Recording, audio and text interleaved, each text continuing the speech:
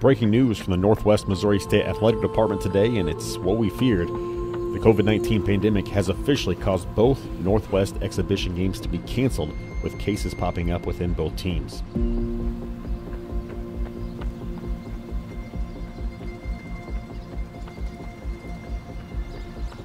Now, in light of that, Northwest will begin preparations for its September 2nd opener coming up against Fort Hays State.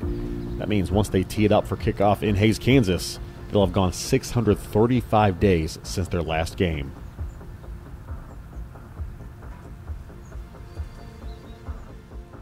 To watch it unfold and, and watch how they figured out that it was that they had no control of the situation, but they had control of how they dealt with it and what their response was going to be was, um, you know, made me very encouraged about the things that we could do moving forward this season.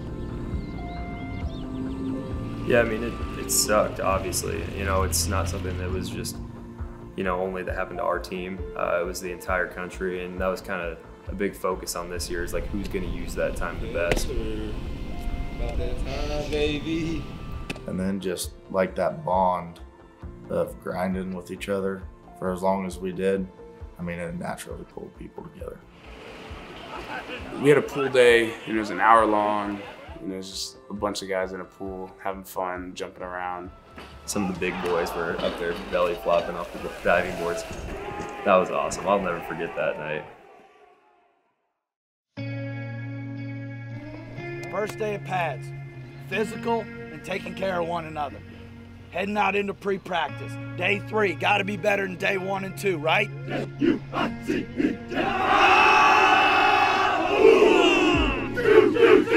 You know, there's something to be said with just grinding with with your family and with your brothers for over 600 some days, you know, without that reward of the game and just trying to push each other to keep getting better throughout that long period of time for that moment. Um, it was pretty special.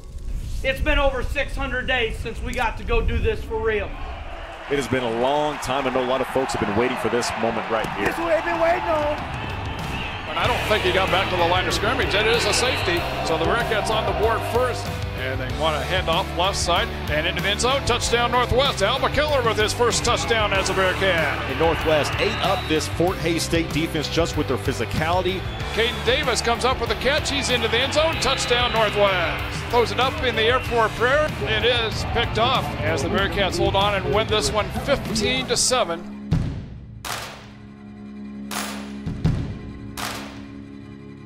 You know, the thing that makes Maryville and Northwest special, it's always been a college town. Uh, it's always been, you know, completely immersed in, in the community and the community support.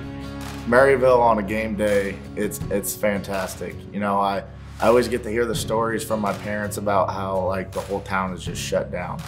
I mean, there's nothing like waking up on a home game day, just knowing that we're gonna have packed house no matter what cheering for us. And it shows just how much kind of like the whole community and surrounding areas care, the students. People love being here and our band just shows out every single week. The catwalk is kind of like the beginning of kind of getting that adrenaline going in your body. And, you know, you got all the parents tailgating out there and it's always a really good experience. Come on! Let's go Bearcats!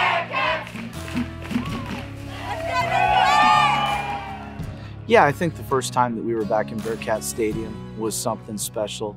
Uh, family Day here is always a big deal. The red's really cool to see because red's not really in our color scheme on, on Saturdays, but um, obviously Coach Wright always wears a red hat.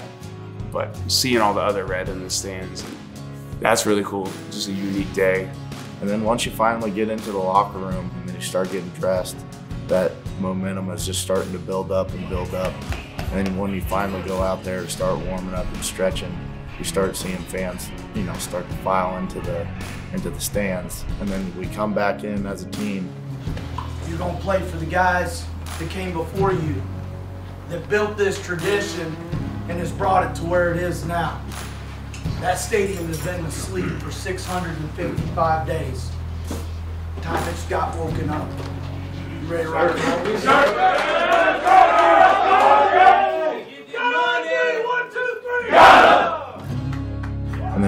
We go go back out, it's always like thousands of people showed up in just that t- 10 to 15 minute span.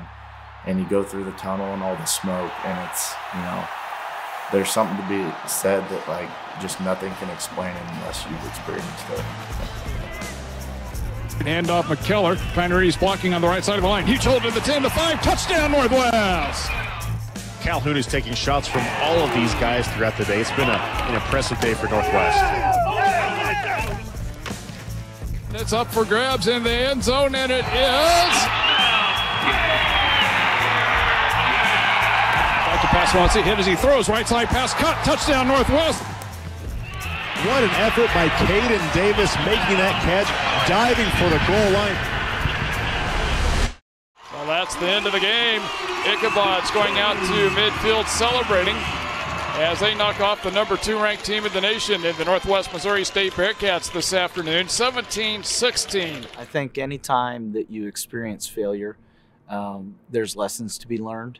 You know, it wakes you up to the fact that you got to bring it even harder every day, whether you're the better team or not. I honestly believe that game made us better as a team because we really had to sit back and look at ourselves and you know, we, we knew we didn't go out there and play good enough. You know, just because you have a paw on your side of your helmet and you wear green does not, you know, automatically mean you're going to win games week in and week out. There's a there's a price that has to be paid, and, and details matter. I came from the mud. There's dirt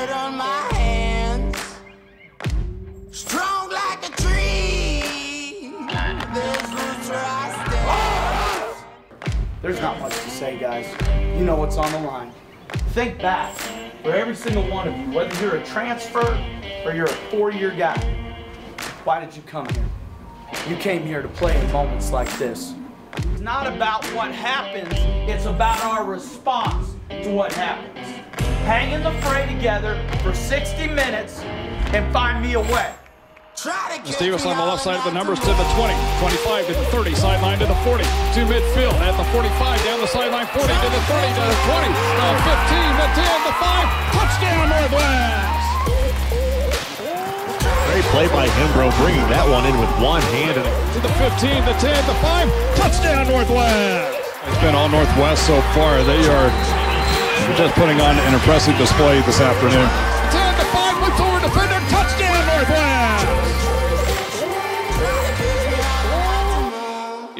We just just had fun. It was it was homecoming. We didn't have to bring energy that day. You know, it was already energetic. There was already a buzz. It's part of the whole family culture we have is everybody comes back. You see a lot of people you used to see. Um, everyone's very loyal to this place.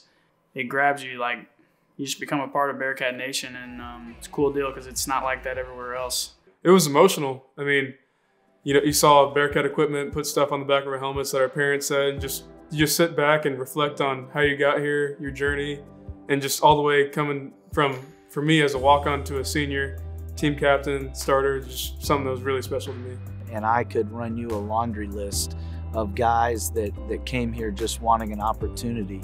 And to watch that come full circle and, and to see them uh, finish their senior year and, and on scholarship and playing significant snaps is a testament to the type of kid that we try and bring in. It's, it's special.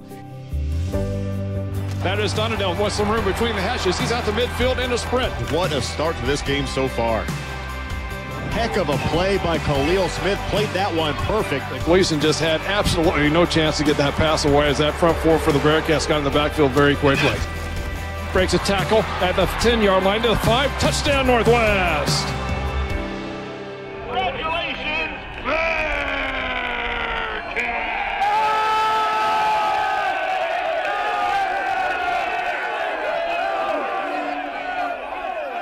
That was one of our goals is just coming in here and winning the outright MIAA title and something we did. And all of us got behind each other and knew we wanted to do it and we went out and executed it. You know, take advantage of our opportunities and win that conference championship. That was a huge deal for us because, you know, we know, we understand how hard it is to win football games every Saturday. Northwest Missouri State is a three seed and first round host. The Bearcats clinched the program's 31st MIAA regular season title. Their opposition is Central Washington, sixth NCAA appearance and first since 2017. Don't care where we're seated, care where we're going. We're a three seed. Play a home game. We now know. It's it's what everyone plays football for is to play in those postseason games, and you know just try not to lose sight of that, um, and just taking it day by day in the playoffs, and just getting ready to go because you know it's win or go home time. You got to remember, because the MIAA was our first goal. Mission complete. Put it away. We just started a new book. You wrote the first story. It's time to go chase greatness. Wants to throw down the middle. Field caught by Donadell. The left hash at the five yard line. Dives through the goal line. Touchdown, Northwest. Play action. Glasper rolls up, Hit and drop from behind. There's Sam Roberts to make the tackle. The MIAA's Defensive Player of the Year.